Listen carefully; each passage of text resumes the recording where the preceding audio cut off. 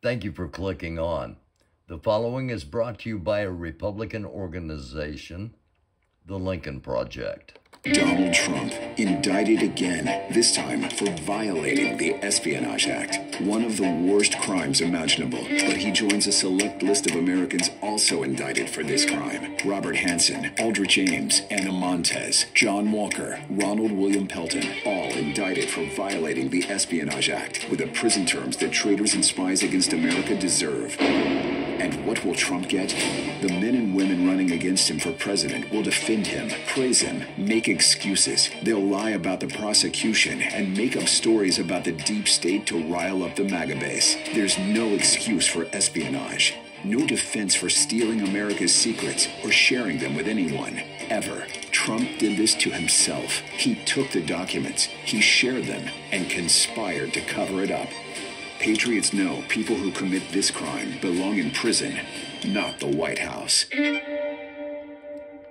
Again, a Republican organization, the Lincoln Project, and uh, they've got one more that they've put out. Let's just uh, let's just go ahead and play that as we start out this broadcast. An indictment was unsealed, charging Donald J. Trump with felony violations of our national security laws, as well as participating in a conspiracy to obstruct justice. So many rats, Donald. They're everywhere. So many people turning on you after all you've done for them. Stabbed you in the back. So many people lying to your face and making deals with Jack Smith, Everyone Fani Willis, Alvin Bragg. using you. You made them all so much money. So generous. Made their careers. You gave them their dreams. Now they're after you. They. Cooperating with Jack Smith. They never cared. It's hard to know who to trust. Snitches. They're all watching, You can't trust anyone. listening, Even your family. recording you, Everything you say. spying on you. Everywhere you go. It's bad, Donald. All the time. It's just you Betraying you. and the rats. Horrible jump ship. So many It's just you rats. and them. once again from uh, that was from An the indictment. Lincoln Project, Republican organization. And once again, thank you for clicking on. Let's go to the uh, let's go to the Twitter scroll. Um, sorry about this. Let me hop over to bookmarks real quick, and we shall get rolling along. Um, Jim Trusty, who had uh, left the Trump uh, criminal defense team last week, today left the civil lawsuit against uh, CNN, asking the judge to be uh, released from the case, citing, quote, irreconcilable differences, end quote, with his client. The next thing we have here is, is something I really think everybody ought to think about. So much so that we're calling the episode, Where Are the Lawyers?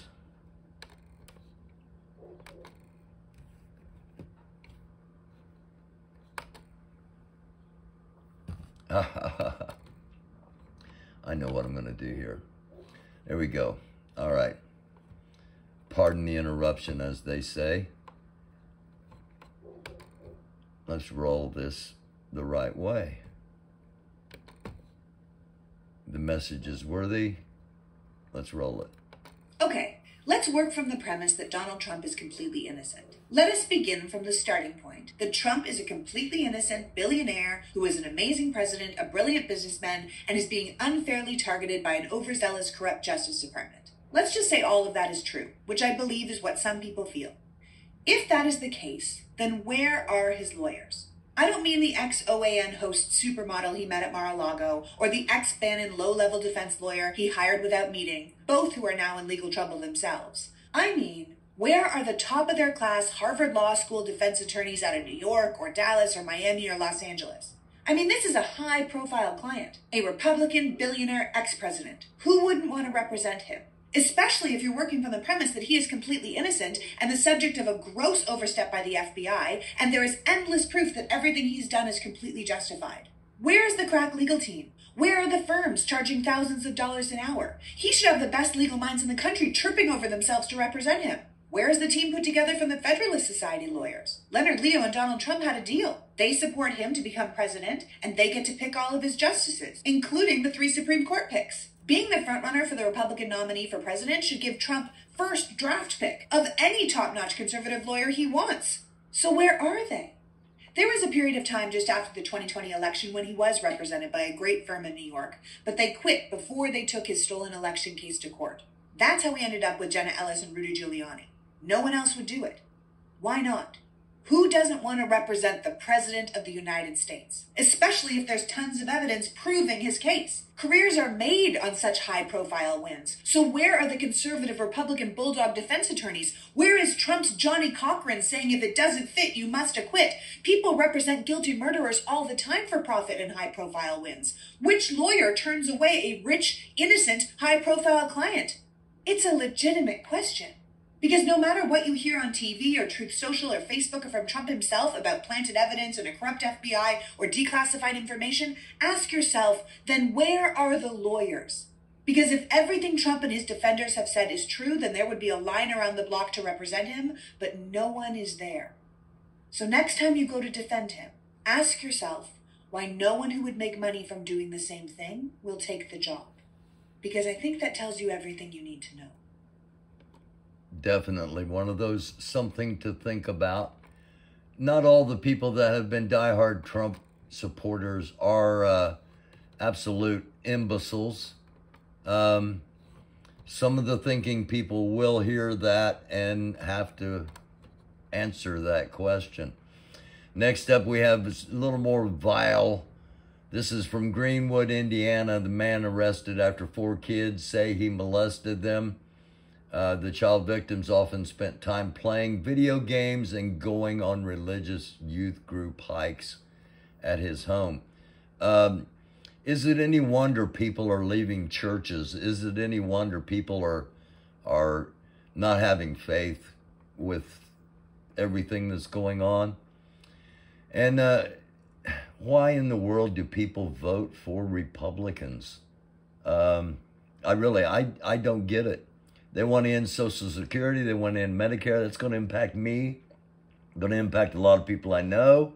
Not going to be happy about that. Um, and if you think if you think that's that's the answer, um, well, you're going to have some you're going to have some angry people, um, and not not all of us are are necessarily decrepit. Republicans declare running banning universal free school meals. Okay, so it's not enough you want to penalize the older people. You want to make sure the kids don't have enough food. Really? This is the message of the Republican Party? This and Donald Trump? This is what you give to America. Something to think about. Normally, I don't talk about the volcanoes or the earthquakes unless it's something really mega. It kind of is today. Um, it is at, at, at, an incredibly high level. Um, we've had a seven, we've had a six, we've had five fives, 54s, 113 threes, and 228 2.0s. Um, earthquake activity all the time on on our globe. Um, but this is a a high number, and many of them around volcanic um, volcanic hotspots or potential hotspots. Trump's thrown another one of his former brilliant employees under the bus. This time it's John Kelly. If you're a Trump supporter uh, and you're asking yourself, okay, where are those? Where are all those high-profile lawyers that should be begging to represent a an innocent man. Are they all conspiring against him too, along with the RINOs and the and the Democrats and the blups and the beeps and the come on now. Ask yourself this: If he's such a good boss, and you want him because he's going to treat the the country like a business and and make everybody, if he's such a good boss, why does he make such bad hires? everybody that he hired, eventually, he calls them names and, and belittles them. Um, what do you think he says about you, who he doesn't even know? Those people, them, that's what you are. Come on now. And if that's not enough, maybe this will be the straw that breaks the camel's back. Caught on tape, the former president not only praising Kim Jong il, but saying that he wants his people to behave like the North Koreans. Now, this is this is this is not uh, this is not me. This is him. Here we go. Mean, They talked about that yesterday I, I would Mike have, yeah, I think it's something that could happen. Yeah. Hey, he's the head of a country, and I mean, he is the strong head. Don't let anyone think anything different. He speaks, and his people sit up at attention. I want my people to do the Right. same. Well, are we close to seeing, I'm going to listen to that one more time. to seeing uh, Mr. Kim here at the White House? Uh, could happen. I mean, They talked about that yesterday I, I with would have, Pompeo. yeah, I think it's something that could happen. Yeah. Hey, he's the head of a country, and I mean, he is the strong head. Don't let anyone think anything different. He speaks, and his people sit up at attention. I want my people to do the same. Well, are we close Okay, your people are dwindling, and hopefully dwindling by the episode, as they should be. I'm not saying don't be Republican anymore, if you you know, if, but Trump. Now, come on now. Unfortunately, there will be those that uh, are ride or die that have already cast in their minds that they will do whatever it takes to get Trump back into power. This is what the former chief of staff from the Department of Homeland Security under Donald Trump has to say.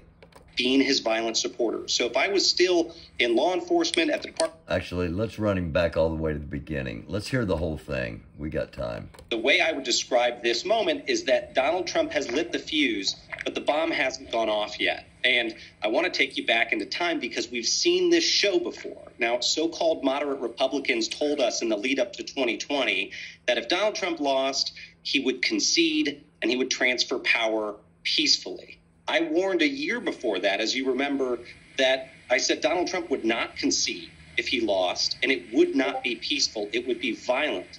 Now, I was right, and it's not because I'm Nostradamus. It's because I know the man and I know the violent extremist movement he has fomented, and we're seeing that show on rerun. We had moderate Republicans tell us Trump probably won't run again. If he does, he won't lead the pack. No, they were wrong. He is running for president again. Despite the indictments, he is leading the pack. The more important question from a public safety standpoint is what will he do if he loses? What will he do if he loses these court cases or if he loses his next bid to the presidency? That's why we haven't seen violence yet, is because Trump and his supporters still think he's in the fight, still think he has a chance to win these cases and win the election. The moment that he loses, like in 2020, Donald Trump will see his last resort being his violent supporters. So if I was still in law enforcement at the Department of Homeland Security, I would be saying He would be saying, prepare for a another January 6th level event or higher.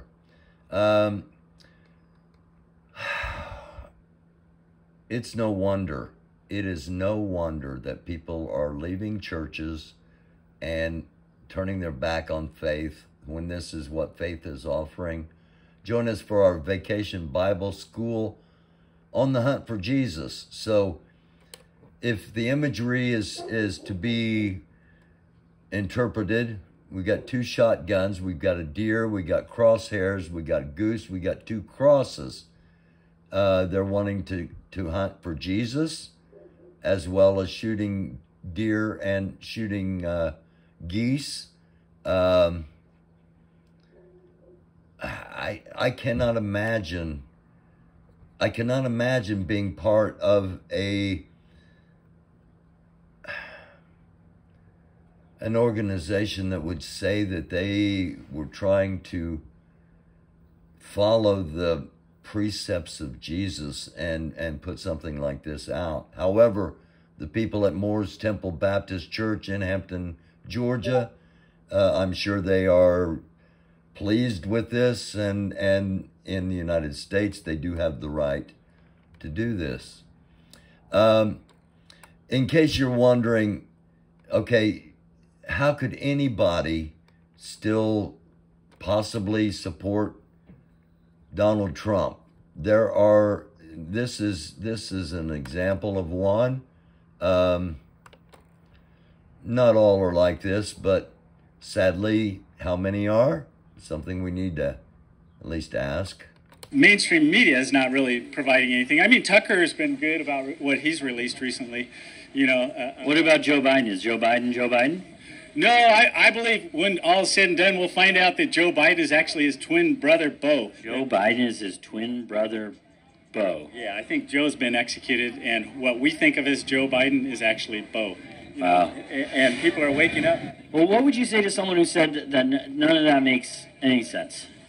I would say, I on on the surface, I agree with you. Mainstream media is not really providing anything. On the surface, I agree with you too. Um, none of that makes any sense. But nonetheless, this is uh, this is this is the this is the level of support. Um, I want to I want to share a positive thing here. Um, actually, I'm gonna pop it out because I don't want it to stop in the middle. And um, this is a leatherback whale, or I'm sorry, a leatherback tortoise, uh, sea tortoise, that has been beached and um, a long, long way from the water. Okay, we gotta. Sorry, we can't have the copyright strike from the music. Um an ingenious plan. They bring in a tractor, get a surfboard, a big surfboard, a wide, big body surfboard. Strap the leather back to it.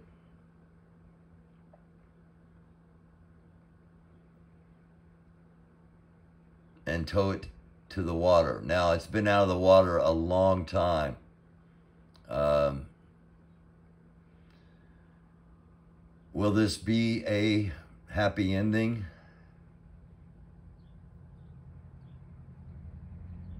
Yes. That's just to remind everybody there are good people in the world. That's just to remind everybody that that good things do happen. Um, we don't see them enough. We don't talk about them enough. We don't highlight them enough. But good things do go on, and good on those people. Um, let me go back here. Our final little clip of the day.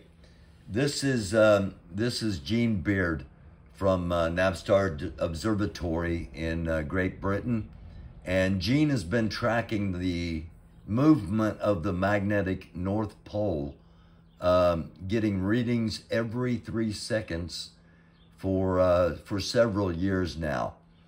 Uh, he put out this video explaining uh, what the magnetic pole shifting uh, means and the impacts it could have. Okay, let's get on with it.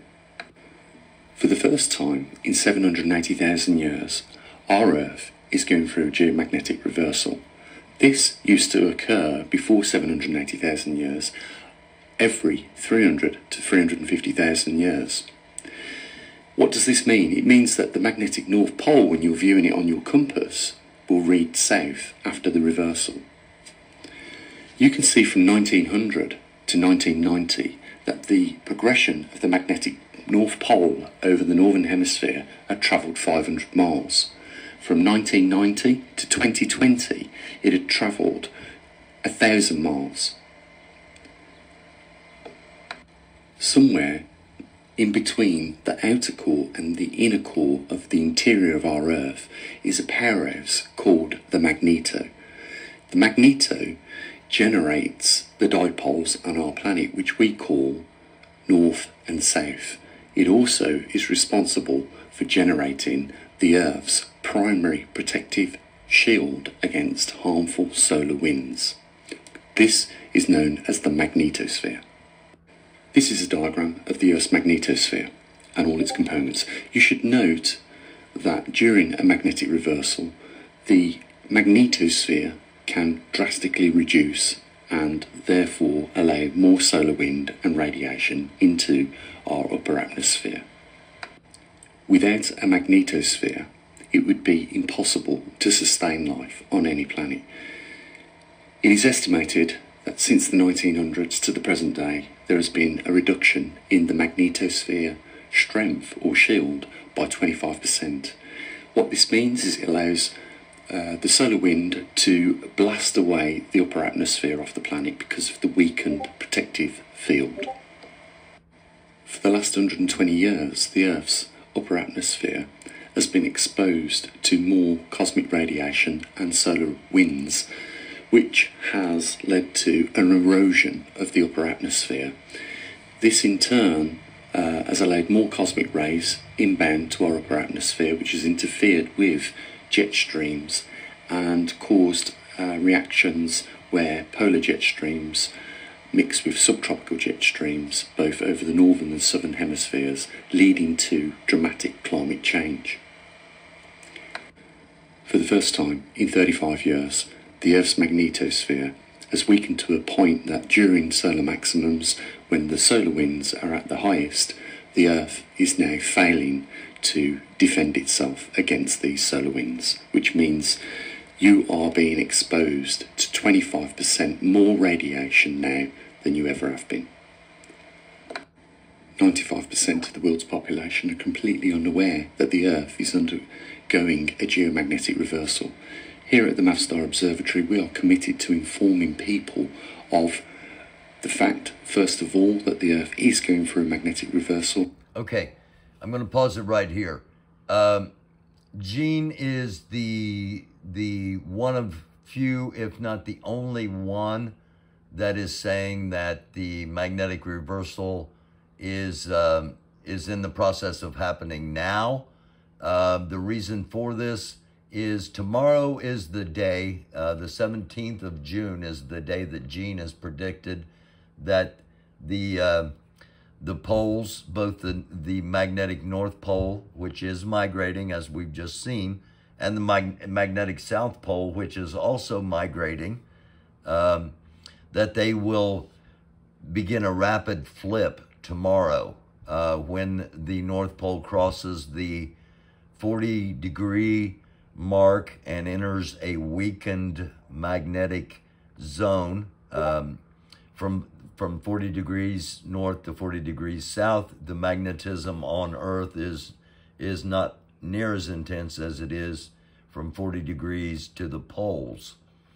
Uh, so um, again he's but you know every disaster movie you see there's one scientist that figures it out when nobody else does and everybody discredits him and and defunds him and then they come to him when it happens and goes okay now what do we do? So uh, just in case that is the situation um,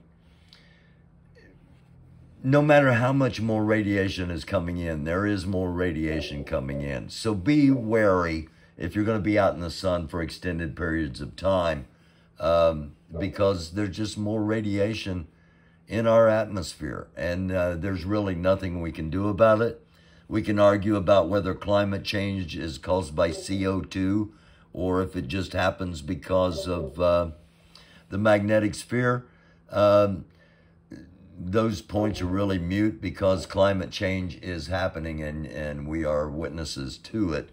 Uh, it's just a matter of how severe it gets and uh, how quickly it comes upon us. And hopefully, it is a gradual process, as as many things are here on Earth. So I'm going to close it out one final time. I'm going to replay, um, close it out the way we started, and um, start out. Do it in reverse order. Um, this again is from a Republican organization called the Lincoln Project, and this particular one minute ad is called Rats. An indictment was unsealed, charging Donald J. Trump with felony violations of our national security laws, as well as participating in a conspiracy to obstruct justice. So many rats, Donald. They're everywhere. So many people turning on you after all you've done for them. Stabbed you in the back. So many people lying to your face and making deals with Jack Smith, Everyone Fani Willis, Alvin Bragg. using you. You made them all so much money. So generous. Made their careers. You gave them their dreams. Now they're after you. They took yours. Cooperating with Jack Smith. They never cared. It's hard to know who to trust. Snitches. They're all watching, You can't trust anyone. listening, Even your family. recording you, Everything you say. spying on you. Everywhere you go. It's bad, Donald. All the time. It's just you Betraying you. and the rats.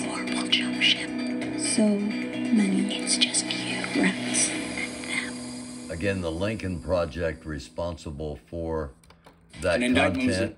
And uh, this one we will finish on. Once again, from the Lincoln Project. This one is uh, this one is titled Espionage. Spying. Donald Trump indicted again, this time for violating the Espionage Act, one of the worst crimes imaginable. But he joins a select list of Americans also indicted for this crime Robert Hanssen, Aldrich Ames, Ana Montes, John Walker, Ronald William Pelton, all indicted for violating the Espionage Act with the prison terms that traitors and spies against America deserve.